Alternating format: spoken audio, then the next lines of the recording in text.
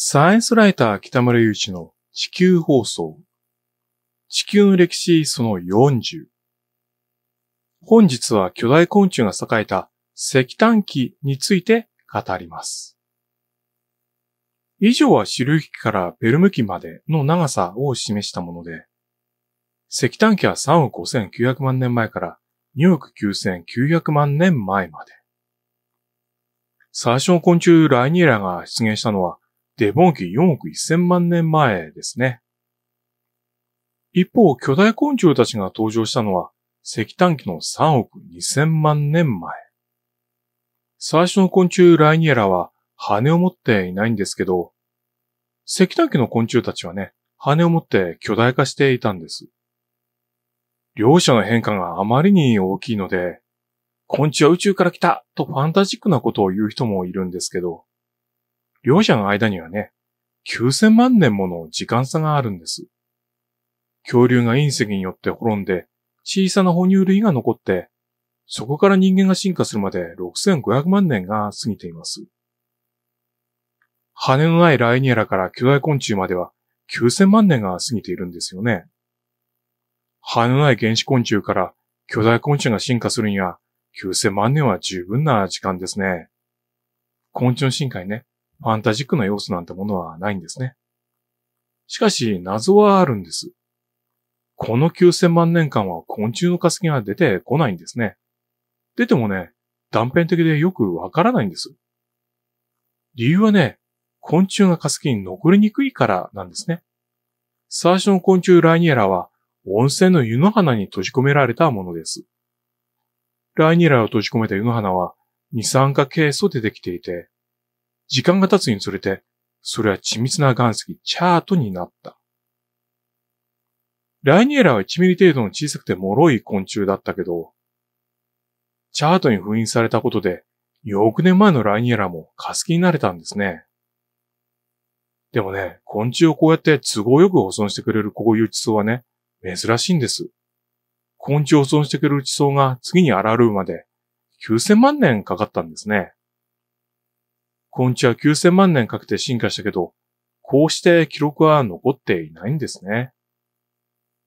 昆虫の羽はどう進化したのか、その謎は次回の放送で明かすとして、3億2000万年前、石炭紀に来た昔アイバネムシをまず見てみましょう。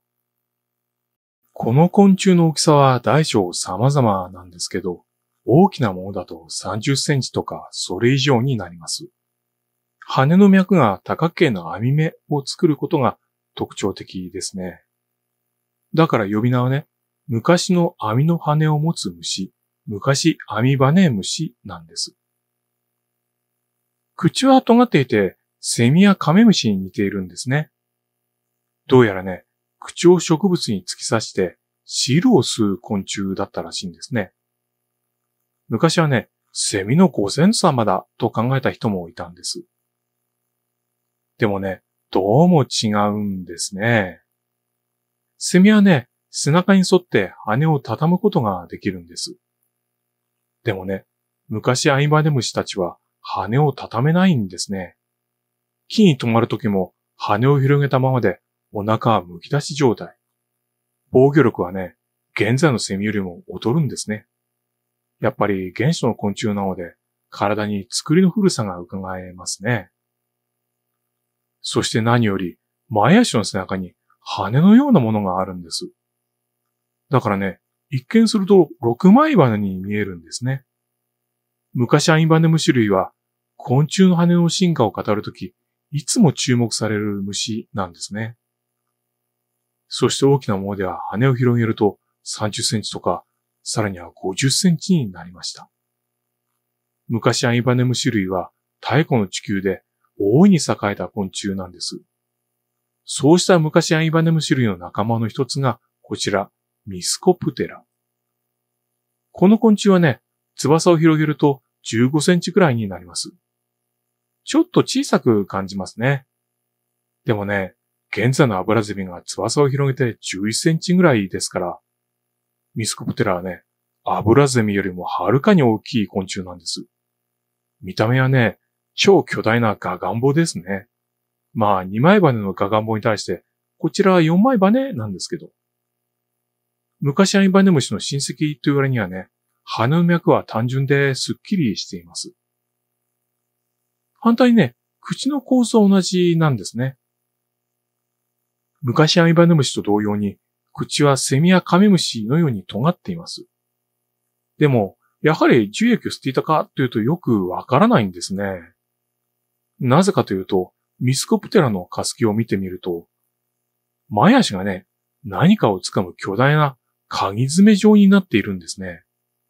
前足の形からすると、ミスコプテラ捕食者に見えるんです。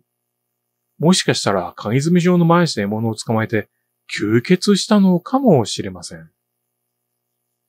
ただね、ミスコプテラが肉食昆虫だと言った人はね、誰もいないんですね。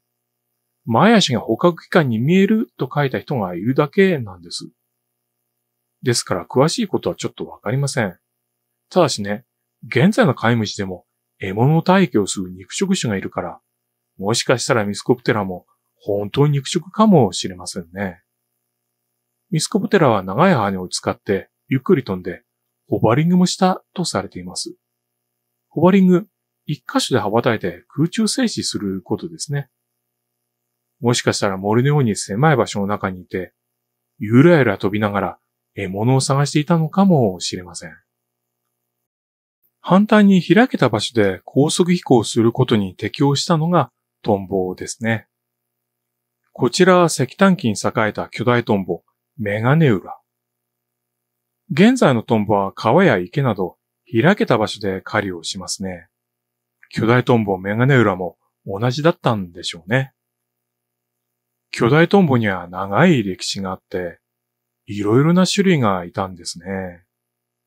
昔アイバネムシと同じく3億2000万年前、その時代には50センチの種類がいました。そして石炭機の後期、3億年前。この時代にいたのがメガネウラですね。60センチです。そして次のペルム期。2億9000万年前には70センチに達する仲間がいたんですね。巨大トンボたちは古代の地球の空を何千万年も支配していたんです。そして現在のトンボとはいろいろと違う点があったんですね。例えば前足の大きさが違いますね。上の写真は用水路にいる塩辛トンボなんですけど、一見すると4本足に見えますよね。これはね、前足を折りたたんでいるんです。現在のトンボは前足が小さくて頭の後ろに折りたたむことができるんですね。飛行するときとかはこうやって前足を収納しているんです。でもね、石炭機のメガネウラたちは前足が大きいんですね。前足を折りたたんで頭の後ろに収納したとはとても思えません。古代のトンボたちは現在のトンボほど洗練されていない様子ですね。あと羽にも小さな違いがいくつかあります。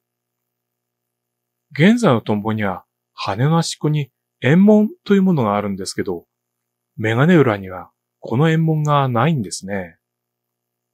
さらに現在のトンボには羽の中ほどで縦に脈がつながる構造があるんですけど、この構造、結節と言いますが、これがね、メガネ裏にはないんですね。そして現在のトンボには、脈が三角につながった三角質があるんですけど、こういうものもね、メガネ裏にはないんです。メガネ裏はトンボであるんだけど、今のトンボとは色々と違うんですね。そして石炭機、続くペルム機はこれら巨大昆虫の時代でした。昆虫がここまで巨大化した時代はね、他にはないんですね。なぜ石炭機はこれら巨大昆虫たちを次々に排出できたのか。石炭機は酸素の多い時代で昆虫の呼吸器官の弱点を補えた。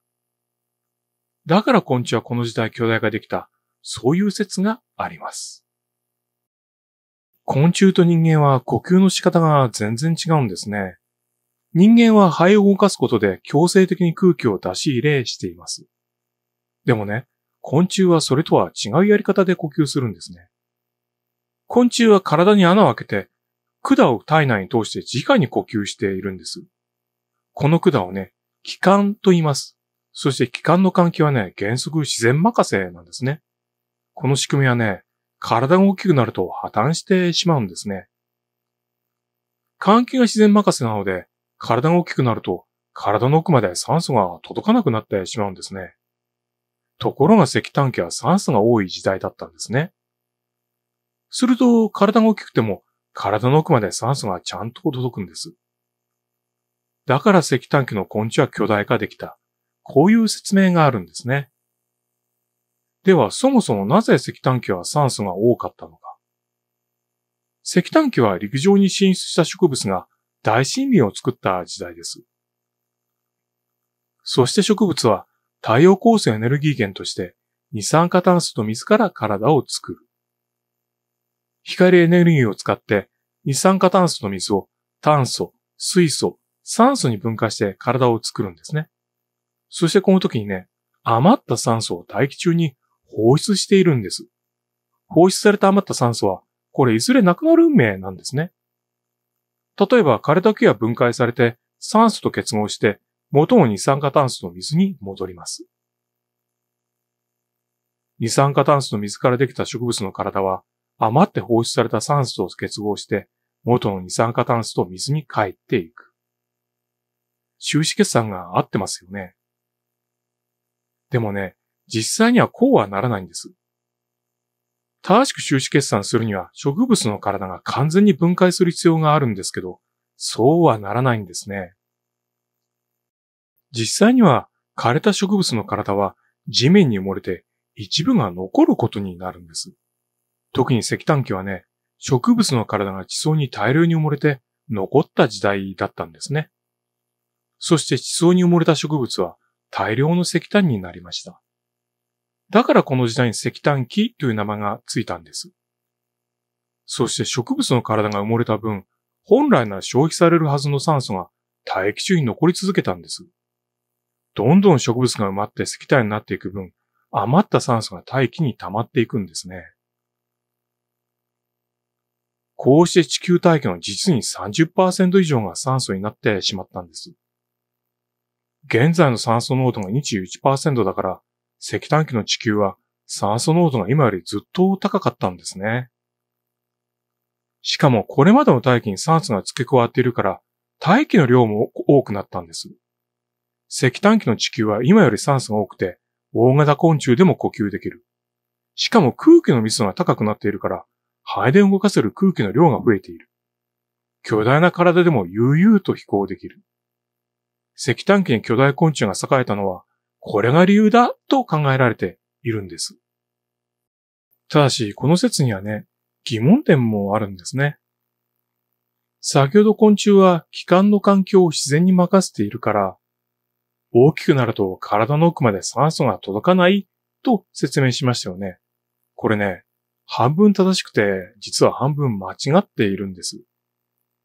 昆虫はね、気管の空気を強制的に換気することも行っているんですね。だから自然換気の期間が昆虫の大きさの制限かというとね、ちょっと疑問点があるんです。ですから石炭機の豊富な酸素が巨大昆虫を支えたという説もちょっと疑問がありますね。もしかしたらね、石炭機に巨大昆虫が栄えたのは鳥や翼竜のような飛行する脊椎動物がまだいなかったせいかもしれません。どちらにせよ、節足動物もその気になれば、これだけの大型飛行動物を生み出せる。それは確かですね。ちなみに昆虫の器官は何からできたのかという質問があったのですが、これはね、よくわかりませんでした。どうもね、単純に皮膚の一部が体内へ落ち込んで、管状になるらしいんですね。そして器官はね、節足動物の歴史の中で何度も進化したんです。カギムシ、クモの一部、ヒュウケムシなど、ゲジゲジとかのタスク類、そして昆虫、さらには甲殻類の一部。